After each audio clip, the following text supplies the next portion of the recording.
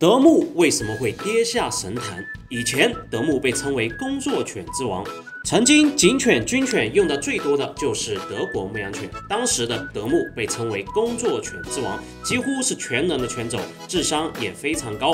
但是现在咱们回过头看看，大多数的军犬、警犬都被马犬所取代。很多人说德牧是退化了，变老实了，也变得不凶猛了。真实的情况又是什么样呢？有一点必须承认的是，早期的德牧的确是非常优秀，战斗力非常彪悍，扑养那是非常凶猛的。但是现在的德牧已经宠物化，这是因为德牧它走向了另外的一个极端，追求所谓的外观，所谓的模特步、飞步，所谓的大背线。